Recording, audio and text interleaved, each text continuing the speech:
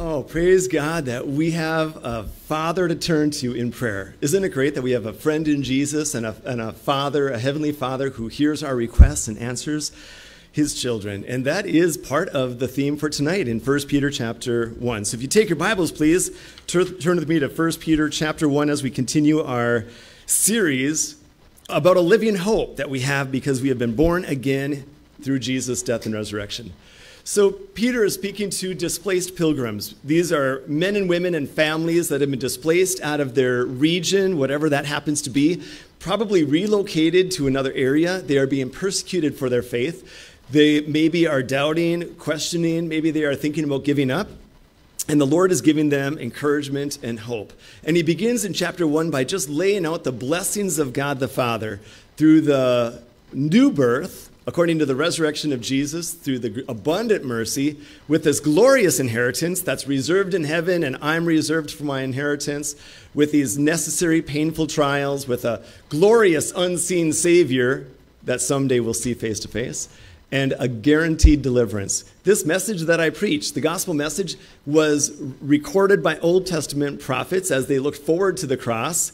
It was declared by the New Testament apostles as they were living in the days of the cross and you and I have received it by faith. These things which angels desire to look into. Now, our response in verse 13 is to have a girded mind. Tie up the loose ends. Don't be distracted this week. Remember to rest your hope fully on the Lord's return. So we're anticipating, guess what? Tonight, Sunday night, the Lord could return for the church. Tomorrow morning, Monday morning, he could return for the church. Tomorrow afternoon, he could. Do you see what I'm saying? We're resting our hope fully on the revelation of the Lord and then the fullness of our grace which we receive. And then we this morning saw that we need to have a, a, pure mind, to be holy as the Lord is holy in all of our conduct. This is not just outward behavior, not just some technical rule keeping, but it is an inward heart transformation where we are wanting and desiring to please the Lord above all things.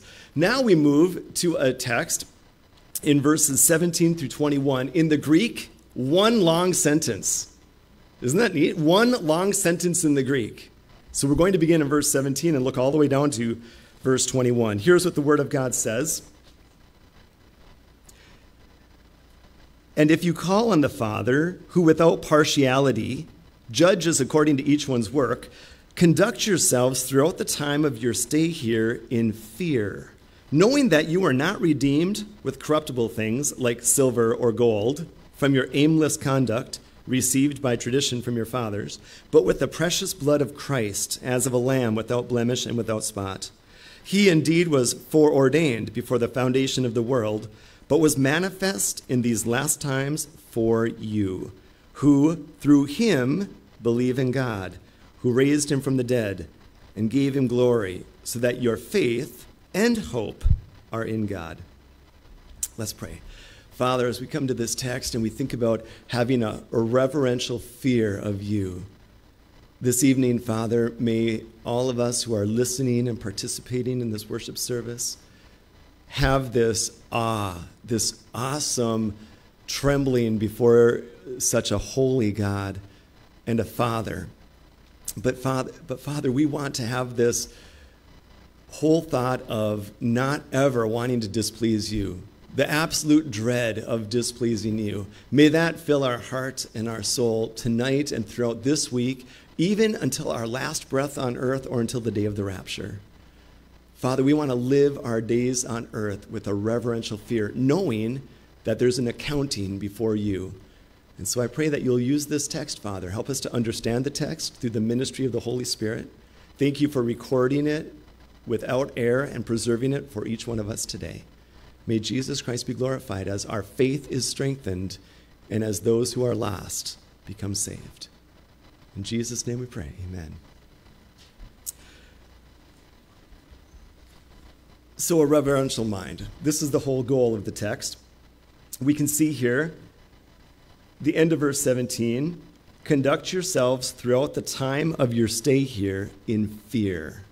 So, we're pilgrims we're to conduct ourselves for our time here on planet Earth, which is temporary, it's limited. And every day that clicks by, we have another, we have one less day on planet Earth. So we're all nearing the end of our earthly journey, believe it or not, even if you're young. We don't know what holds, we don't know, we know who holds tomorrow, but we don't know what tomorrow holds for us. And so we need to conduct ourselves in a certain manner. We know it's a girded mind and, of course, a pure mind, but here he says, Conduct yourselves at the end of verse 17 throughout the time of your stay here. Notice, it's just a visit. We're just passing through this world.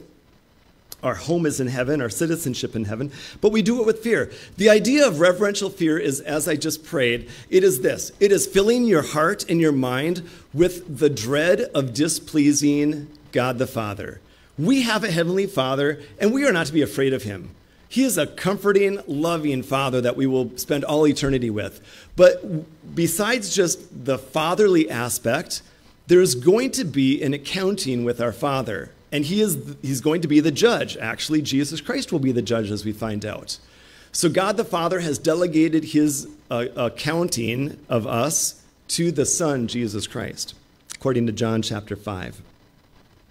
So, why are we full of dread? Not fear, not fear of, a, of an angry God or of a God who we kind of cower from, but rather it's this reverential awe that says, You and I are going to meet him someday and give an account for our life.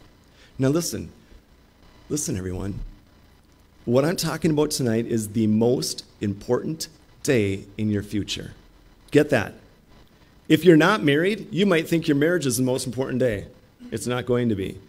it could be having a baby. It could be having a grandchild. It could be some, some event in your life that you think, wow, this is the greatest day of our life.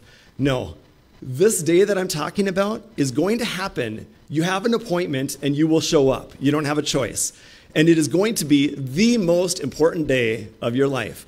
And I want to, as your pastor, prepare you for that day. Wouldn't it, wouldn't it make sense? Wouldn't it be awful if, if I knew you were going to have this meeting with the Lord and I didn't prepare you for it, and I just sent you there, it would be terrible. It would be awful. So I want you to take into account why you need to conduct yourself with a reverential fear, with an awe.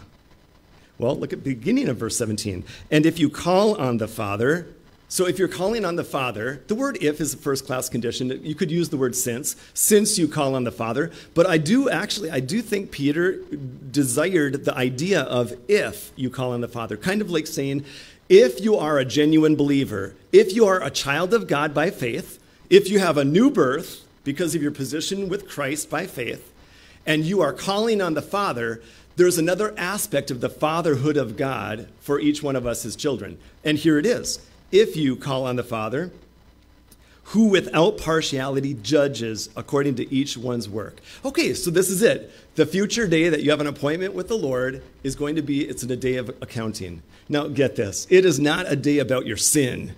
When was your sin taken care of? 2000 years ago on the cross. Every single sin of yours was paid in full by Jesus Christ on the cross. When he cried out, Tetelestai, it is finished, every single sin had received its full and just reward by someone else, not by you. The sin penalty that I deserve in eternity in a lake of fire was felt by Jesus Christ in my place. So this accounting is not over sin. This judging each one according to his work is not over, did you sin and are you a sinner? And there's no condemnation and there's no guilt. This, on the other hand, is a reward time. It's a time that God will evaluate your life, and we're going to look at a few texts about that. And He is going to reward you for that which was done in the body, in this body, that was good and eternal, and He will burn up that which is worthless. Okay? So that's the idea. This is not a judgment. This is not a, this is not a condemnation or a guilt session of okay, it's not a courtroom scene. How about that? This is, the re, this is a rewarding of Olympic athletes by the head of the festival. Jesus, being the righteous judge, will give each one a reward according to how you ran the race. Okay? Now, before we go on, notice how he judges in verse 17. If you call on the Father who without partiality. See, there's no partiality with our God. There's, there, God is not a respecter of persons at all. And let me give you, some, let's do some quick Bible study on this. Go to Deuteronomy chapter 10. This is our introduction to, really, to today's justice issues regarding race and status and politics and all of these divisions in our country. Look at Deuteronomy 10, verse 17. Since this is the heart of the Father, this needs to be your heart and my heart. Deuteronomy 10, 17 speaking about the Lord. For the Lord your God, here's Moses speaking to, his, to the people of Israel. For the Lord your God is God of gods and Lord of lords, the great God, mighty and awesome, who shows no partiality nor takes a bribe. Get that? He shows no partiality. He doesn't look at skin color. He doesn't look at, eh, we're going to find four areas that God is simply impartial. All right? So he doesn't look at anything with partiality and he never takes a bribe. You can't say, Lord, just overlook this and let me slip in with this and I'll give you something. Some people offer bribes to God all the time. Don't they offer bribes? They say, Lord, if you do this, um, you'll know. I'll go to church all the time if you just let me get out of this situation or whatever. That's, that's a bribe. You're saying, God, do, for some, do something for me, and I'm going to pay you back with my attendance at church or whatever it might be. God doesn't take bribes, and he shows no partiality. There's four areas. Look with me at Romans chapter 2. We're going to go to four different verses right now. Romans chapter 2. God is not a respecter of persons.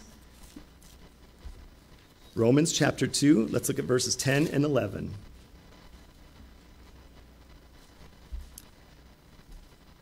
God is going to reward for the believer and give them glory, honor, and immortality. And to the unbeliever, those who are self seeking and rebellious, he will give tribulation, trial, and eternal punishment. So, verse 10 But glory, honor, and peace to everyone who works what is good, meaning that you are a believer, you have faith in Jesus Christ, and then out of that is flowing good works, to the Jew first, and also to the Greek. Verse 11 For there is no partiality with God. It doesn't matter if you're Jew, a Jewish person. It doesn't matter if you're Greek. It doesn't matter if you're Finnish, Ethiopian, Asian, uh, Pacific Islander.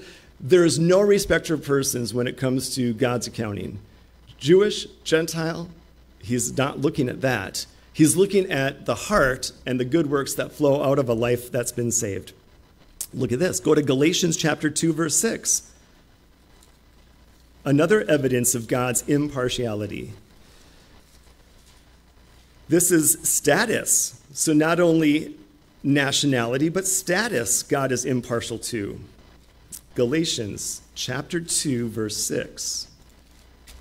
The word of God says, "But from those who seemed to be something, there were leaders in Jerusalem who just seemed to be big shots. They were the, like the everybody knew them. They were the national presence in Israel.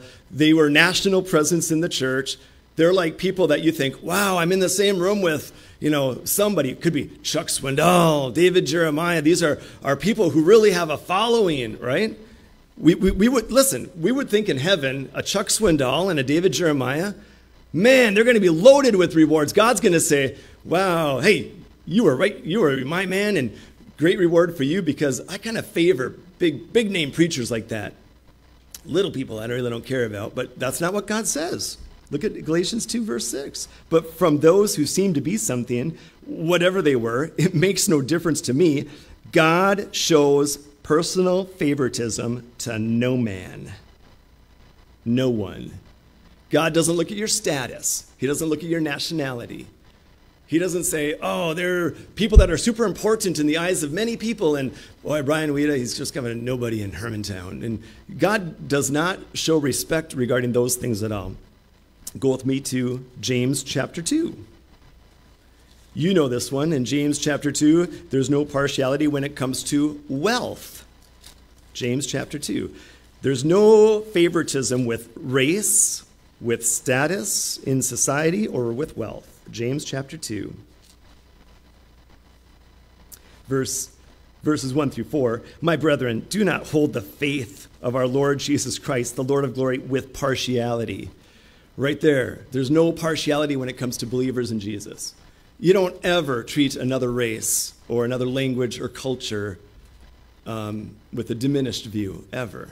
And, I, and I've traveled many times overseas, and I've been in the airport, foreign airports. I was in Addis Ababa, Ethiopia, and I was in the airport there, and, and uh, I, I, I was alone. I was traveling alone on a mission trip to Kenya, and here I am in Ethiopia, and there's a group of Americans and they were and they were believers on a mission and they were so rude and they were so outspoken about the culture and the people.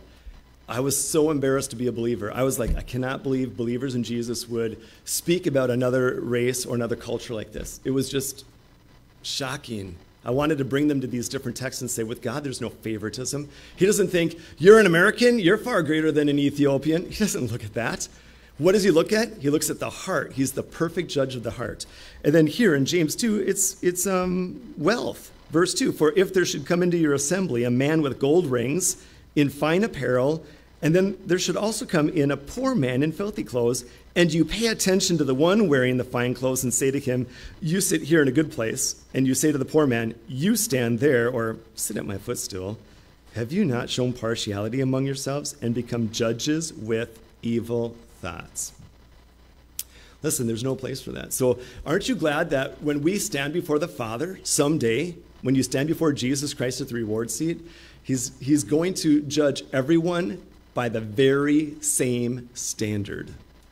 And it won't matter if you're a pastor of a church, it won't matter if you, whatever you do, like what your position is, or your skin color, or your wealth, or your status. We could go to one more, might as well, Acts 10. I'll just have to maybe divide this message up into two pieces. We'll do the rest maybe Sunday morning. Acts chapter 10. Look at this. Peter is in Cornelius' house. Now, a Jewish person in the Old Testament um, had become so separate from a Gentile that they would never go into a Gentile's house, ever. You, you, would, you would never step on their property. And if some dust from a Gentile piece of property came on your sandals, you would shake it off with disgust and say, Gentile dogs. Ugh. That's, that was the sharp division between Jewish and Gentile people. Can you imagine throwing Jewish and Gentile in the same church with that attitude? Ugh, Gentiles, they, they, I don't touch them. I don't look at them. I don't want anything to do with them. I won't eat with them. How do you get unity in a church like that? Well, we get that. We get um, Galatians, we get Ephesians. That'll teach us all about that. But here in Acts chapter 10, Peter is being told by God, go to Cornelius's house, a Gentile's house, and go ahead and eat unclean, Old Testament unclean animals.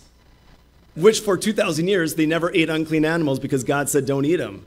And it became a technical law rather than a heart issue. And so here Peter's like, I have never had shrimp scampi before. I have never had a pork chop. Look at that glaze. I, I never had, I don't know, vulture. I mean, I'm trying to think of unclean animals, but I don't know if you'd eat it. But so here, Peter goes in. He's learning a huge lesson, and here's the lesson, verse 34, Acts 10 34. Then Peter opened his mouth and said, In truth, I perceive that God shows no partiality, but in every nation, whoever fears him and works righteous is accepted by him any, every nation, every nation, impartiality. All right, well, that was a long explanation, but does this all make sense? Let's go back to 1 Peter. 1 Peter chapter 1 verse 17 and if you call on the Father if you are truly a child of God your faith is in Jesus Christ you are born again you are his child and he is your heavenly father if you call on the Father who without partiality He's not looking at anything that we look. See, we look at the we look at the outside. God looks on the heart. He judges according to each one's work. Conduct yourselves throughout the time of your stay here in fear. All right. I'm going to take you to two texts, and then probably I'll finish the message to, uh, next Sunday morning. Um, I thought I could do all this tonight, but no way. Let's go to some favorite texts about this. Second Peter. 2 Corinthians chapter 5, verse 10.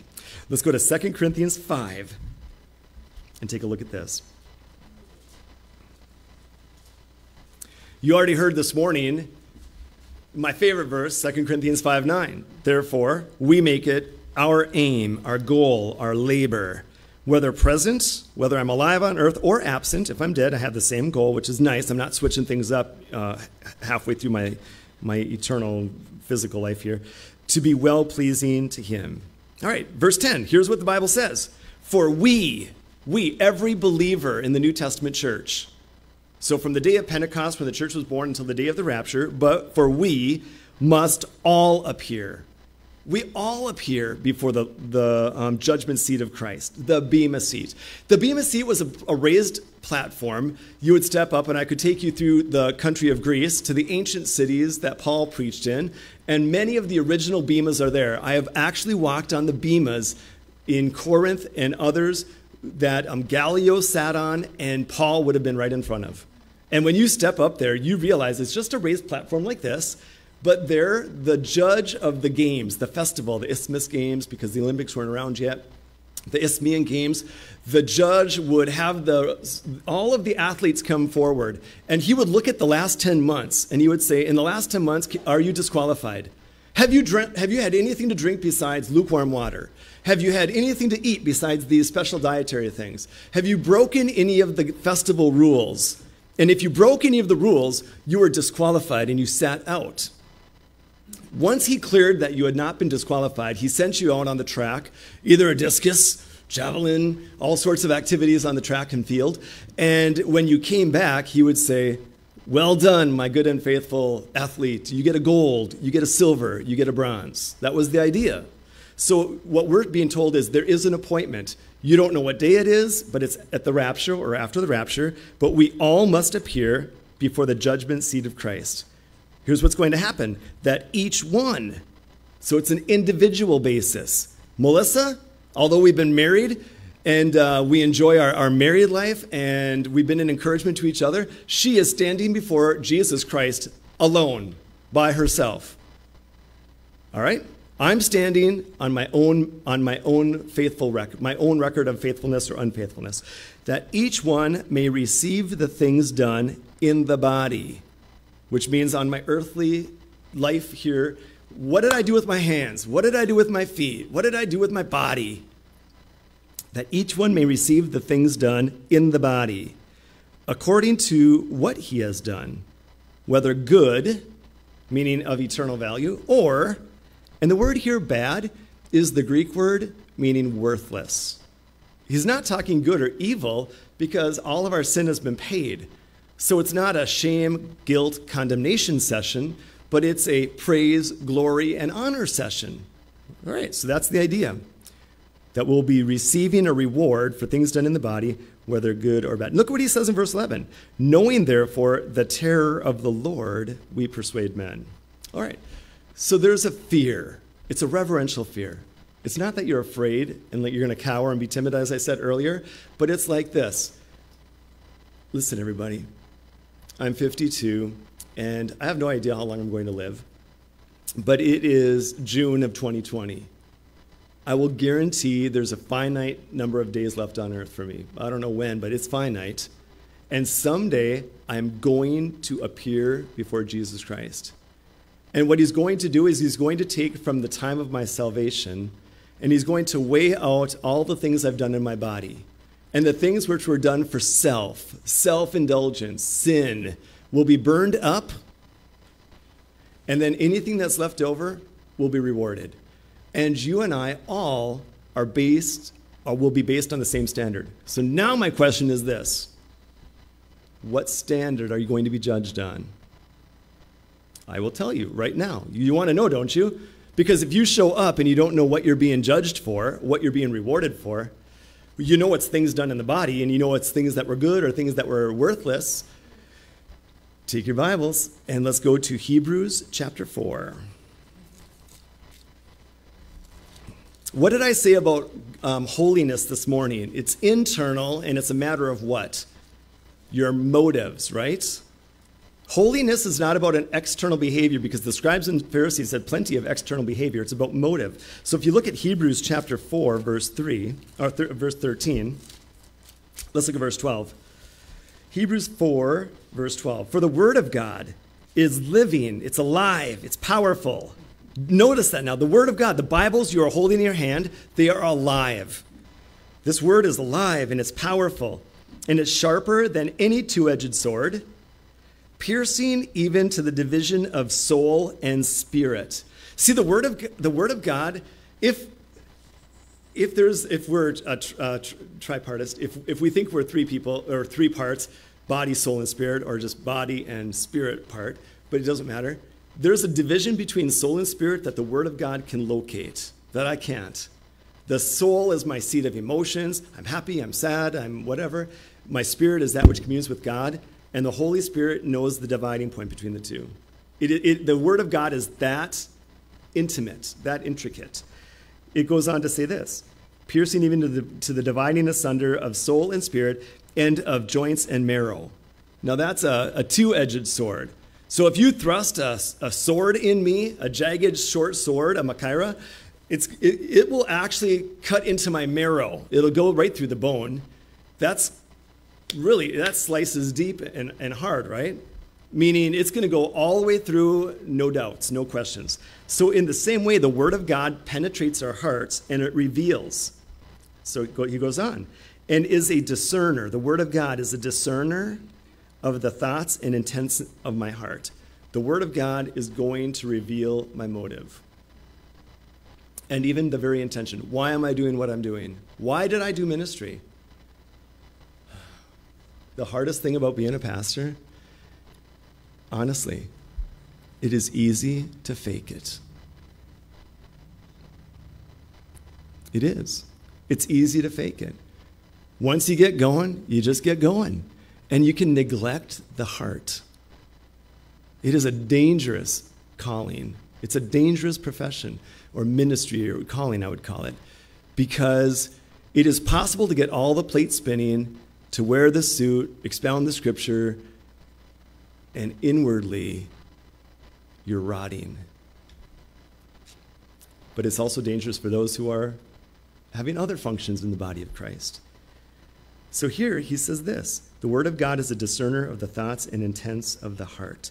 And there is no creature hidden from his sight, but all things are naked and open to the eyes of him to whom we must give account. So our accounting is going to be based on the standard of God's word. And you can maybe disagree with what I say about a certain text, but I'll tell you what if you read it and you get it, you're accountable. All right? That's it. So we got the warning. Now, um, before we close, let's go to 1 Corinthians 3 for, a, for the last part of this whole accounting before the Lord. 1 Corinthians chapter 3. You'll hear some of this Sunday morning as well as we pick it up, but 1 Corinthians chapter 3. There were divisions in the Corinthian church. They, they loved to follow people, and you, you heard me preach through Corinthians now and use the book many, many times, but um, verse 4, chapter 3, verse 4 of 1 Corinthians. For when one says, I am of Paul, and another, I am of Apollos, are you not carnal? Are you not living like fleshly men and women? Verse 5, he's going to explain who then is Paul? And who is Apollos? Uh, we would say these are mighty men of God, preachers of the word.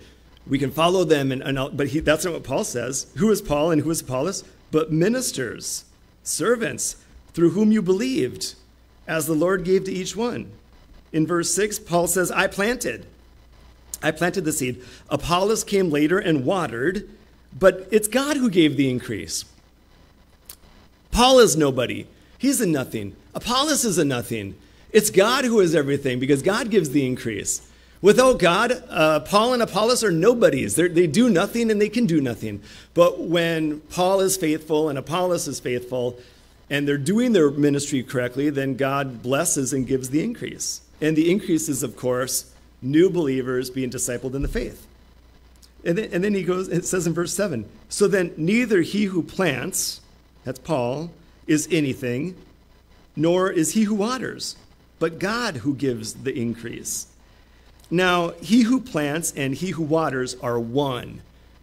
I mean, they're unified in the ministry. There's the planting of the word of God and the, and the seed, and then there's those who come alongside and encourage those to, to obey and to grow as believers. This is a, a, one, a one ministry. And each one, listen to this, each one individually will receive his own reward according to his own labor. So, again, do you see how the same theme has been passing through this, this whole reverential fear thing? Since you call on the Father, um, who judges everyone without partiality, he doesn't judge Paul a little bit easier. Man, I mean, I'd give Paul a huge pass. I'd be like, you suffered so much, I'll just overlook a bunch of stuff. Brian, he hasn't suffered so much, so I'm going to really come down on him hard. You know, being a teacher, being a public school teacher is really difficult because you want to be imp- you want to be impartial. You don't want to treat like you have favorites in class. You know, it's, it's hard because some young people, some young people, you just think, ah, you know, really? My hardest class in 25 years of teaching was when I had, I had six students on my roster. And I thought, piece of cake. No more correcting 30 papers and 30 tests. Six I can handle. It was the worst year of my life. I could not, I had to, before they came in, I had to put all the chairs against the wall and separate the six chairs as far as they possibly could be in a small classroom. And still, they poked each other with pencils and were bleeding. And then I had to get the janitor and the blood pathogens whole thing with gloves. And then, and then it was just, I, I was like, if, if I, I'm not partial. I mean, I'm sorry. I was very partial. I was like, this is crazy. This should not be allowed. Um, and for any one of those six students listening to this live stream broadcast, I love you and I, and I, I want the best for you in your life. But um, God is not like that. He, he's going to judge each one according to his works, to their own individual works without partiality. Without partiality. Uh, verse 9 We are God's fellow workers, we are God's field, and you are God's building. All right, so we're fellow workers with God. So here's what I want to encourage you as we just close this evening, and then we're going to pick it up here and then go into the, there's really three reasons why we need to live with a reverential fear of God, with that kind of mind.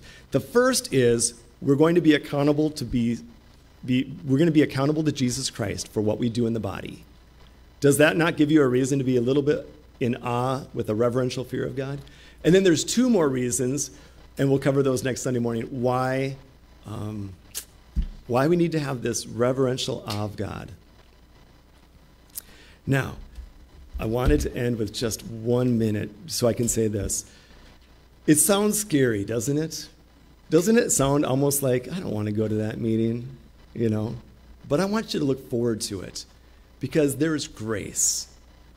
And we, we didn't get to it tonight, but in 1 Corinthians 4, after all of our motives come to light, now listen, I think about this as a pastor. When my motives all come to light, where Paul says he didn't even know sometimes his own motives because he's a sinner. So in 1 Corinthians 4, he talks about the motives coming to light. I think I'll bring it up next Sunday morning.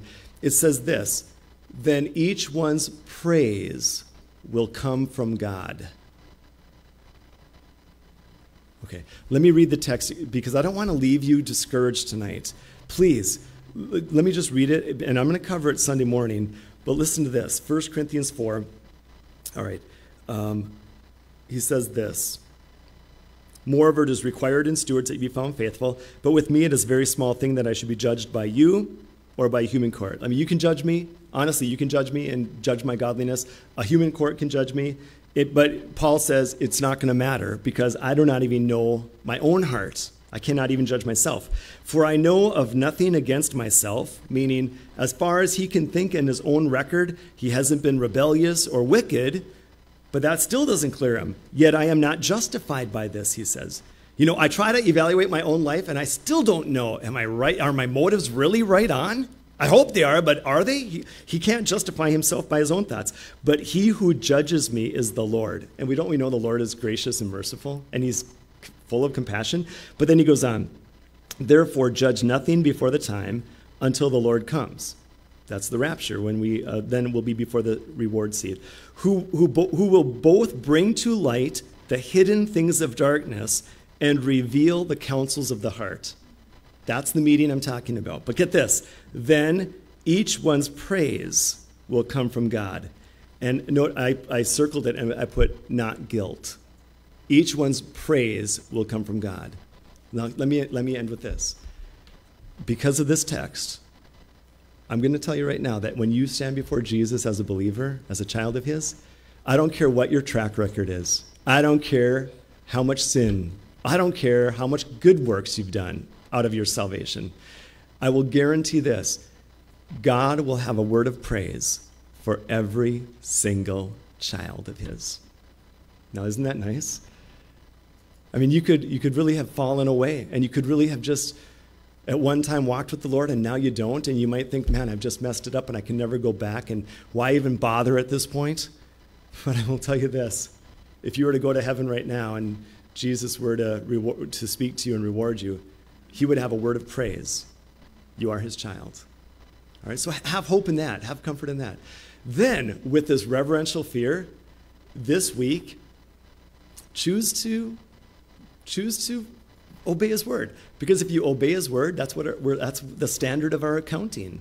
If you obey his word, then he, he has no choice but to reward you. And it's, and it's a delightful thing, right? just don't go rebellious and wander away. All right, well, does that help you? Does that give some hope and some encouragement? Otherwise, it sounds like a death sentence. I'm going to the judgment seat of Christ, and I know it'll be a reward, but no, it's going to be. It'll be a time of, of, I think, just He's the perfect judge. All right, let's pray. I thank you, Father, that you have given us such words of warning and words of comfort. And we, we want to have a girded mind and not be distracted with the things of this world and just remember that Christ is coming back. He will be revealed soon to us. And then we want to be living with a pure mind and being holy as you are holy in all of our conduct. And along with that holiness, this whole reverential awe, this fear of you that we know you're our loving Father and, and you will always receive us and welcome us, and what a joy it's going to be to be with Jesus. But we know that there's going to be an accounting of the things done in our body, those that are good and also the worst, worthless things. And yet you have promised that each one will receive a word of praise from you, and some more because their lives were faithful That's what it comes down to. And so I pray that this church would be found faithful. May it be found pure. And may it be found faithful. Oh, Father, the greatest thing we can do with our lives is to give it to you, to turn it over to you, and allow you to do the work. And then we just cooperate. We just simply humble ourselves and say, I'll take whatever you, you give us, you give me. And I'm not going to cross boundaries to get that which you don't want. And I'm just simply going to live in the boundaries that you set for me. And so, Father, bless this church and build it up as a holy and a faithful church, eager for the rapture. Oh, we pray, come, Lord Jesus. And if someone's listening today, maybe they need Jesus and they will now understand that they are a sinner and their sin has separated themselves from you. But Jesus Christ died in their place for their sin. He has rescued them from this penalty of sin, and He has risen from the dead to prove it. And if they place their faith in Jesus Christ right now, apart from any religion, any good works that they might try to offer, if they simply rest in what Jesus Christ has done for them, they will appear at the reward seat to receive praise, and they will not be condemned to a lake of fire. So use this text and use this message in many different ways. Maybe it's partiality. Maybe somebody is just feeling partial about others, a quick judge about somebody because of status, wealth, or nationality. God forbid. May we look at each one as an image bearer of Jesus Christ. Thank you, Father, for your goodness. Thank you for our church. We pray in Jesus' name and for his glory. Amen. All right, well, God bless you all. God bless you all.